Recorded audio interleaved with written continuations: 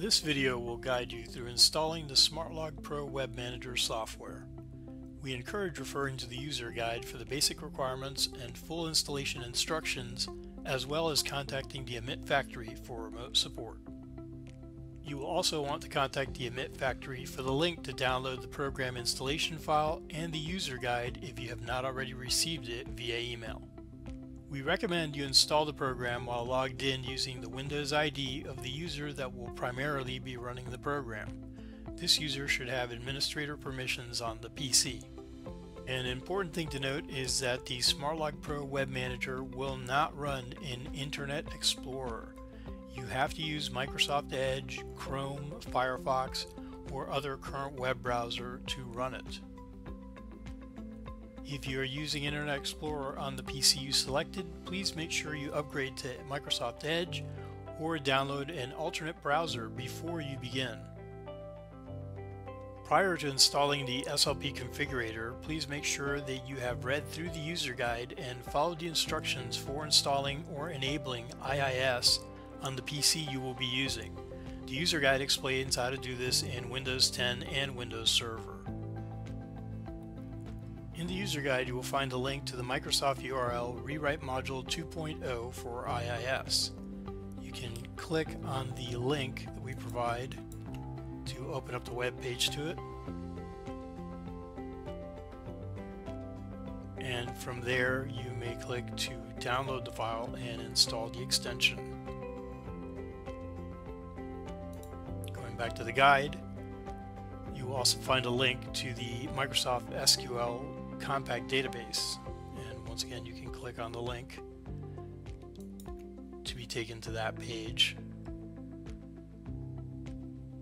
And it has the option there for you to download and install it as well. The SLP configurator is the application used for the installation, configuration, and maintenance of the program. Emit customer service will have provided you with a link to the file or you may contact them to obtain it. The name of the file is configsetup.msi. Once you have downloaded it, you want to go ahead and run it and install it as I'm going to show now. As you can see here, I've already downloaded the file and placed it on my desktop. Just double click on it to run it. The installer will guide you through the steps. Click Next. You can utilize the default folder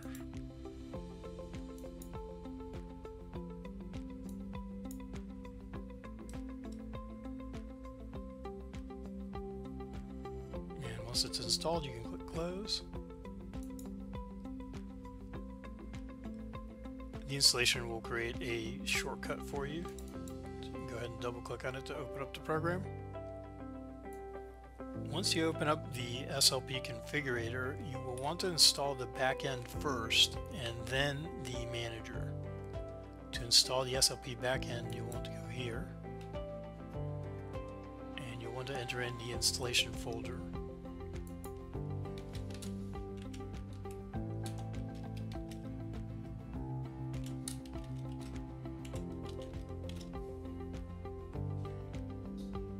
This information is shown in the guide, so you, if you need that information, you can see it there as well. The port is going to be 17200 by default, and you should only change that if that particular port is not feasible for some reason. Then you need to pick the folder for the database. The recommended one is C colon backslash desco backslash slp backslash data. You will leave the authorization header as is, and you can leave this portion as is as well. And once that information is inside, you can go ahead and click on install. SLP config will download an installation package from the Emit Content Delivery Network and set up everything can see the progress down below here.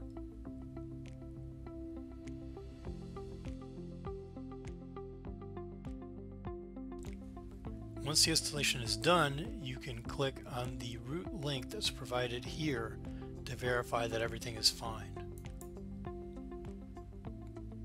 If it works correctly, your browser should open up a web page containing uh, some text information.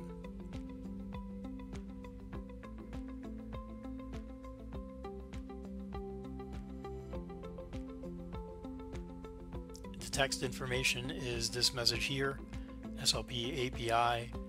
It'll have uh, the 2020 date and the word Desco, and that lets me know that the installation was uh, done correctly. So you can go ahead and close that and then close this window here and then you can go ahead and move on to installing the manager portion.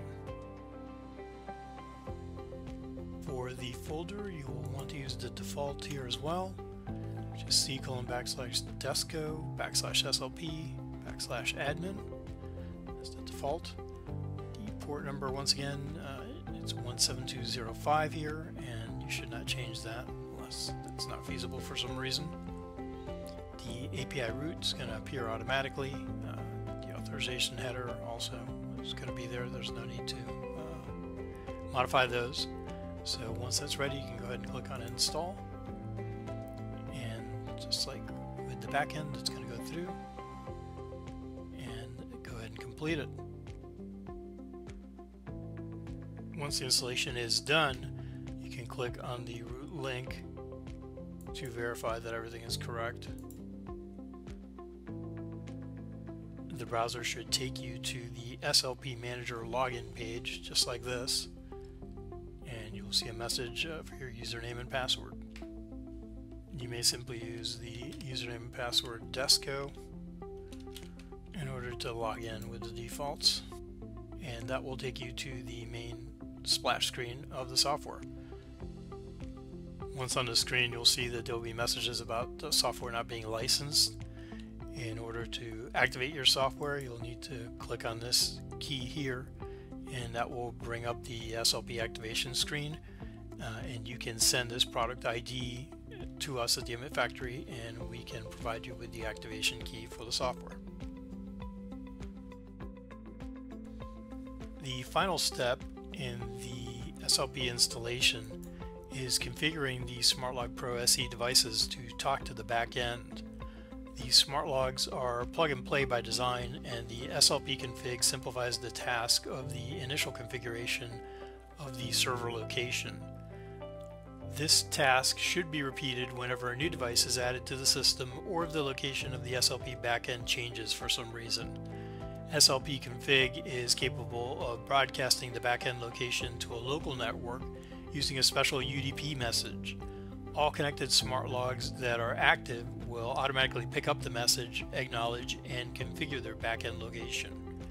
Uh, please note that the SmartLog Pro SE units must reside on the same subnet as the server hosting the data for the initial configuration of the server location.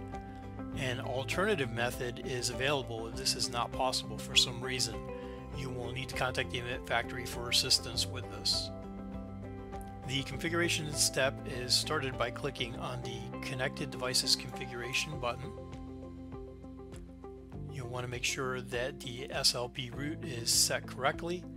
The SLP root is the location of the SLP backend, but without the slash API suffix. You can go ahead and click on the Start button and all connected devices will appear in the connected configured devices list after a few moments as you see here. Once the devices are configured there is no need to leave the broadcast active. You can click stop and then close. You can then navigate to the web page for the SmartLog Pro Web Manager via your browser. Once you have activated it with the license key, Every connected smart log will communicate with SLP and reveal its presence. If it doesn't exist yet in the system, it will show along with its serial number in the Unknown Devices section in the SmartLog Pro Manager's main dashboard as shown here. The recommended way to add a smart log is to click on the Attach button and this will bring up a simple pop-up screen where you can enter the name for the unit. SmartLog will get a default configuration which can be fine-tuned in the administration SmartLog section uh, after the fact.